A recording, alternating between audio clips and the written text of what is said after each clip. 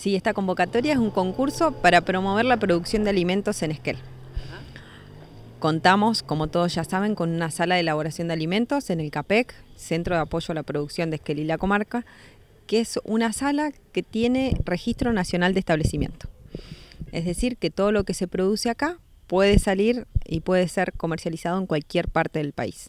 Incluso eh, con otros trámites que por supuesto que no son los cotidianos ni los que solemos hacer, pero se podría justamente también exportar.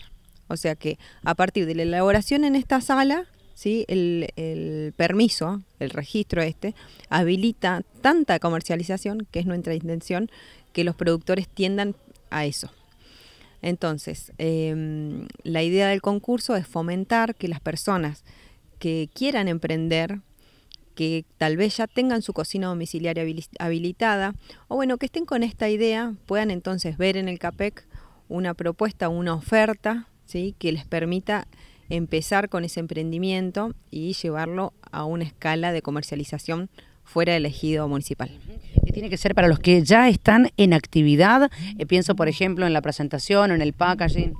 No necesariamente, no necesariamente ya tienen que estar produciendo sí pueden eh, tener esta idea, sí, por supuesto tienen que haberla, eh, eh, tienen que haberlo producido antes, así sean las, sus cocinas particulares, sí, y saber bien qué es lo que le quieren poner a este producto, sí, estamos hablando de alimentos, bueno, saber producirlo, qué ingredientes va a tener, de qué manera lo hacen, eso sí es fundamental porque lo tienen que poner en la propuesta que nos hacen. Nosotros vamos a evaluar esas propuestas en base a la innovación del producto que presentan, en base a si, qué tan escalable es, porque hay productos que demoran mucho en su elaboración, entonces es difícil escalarlos, o que necesitan mucha mano de obra. ¿sí? También si necesitan máquinas, que ya contemos en el CAPECO, si ellos tienen que traer sus máquinas, si las podemos entonces acondicionar en el espacio que tenemos.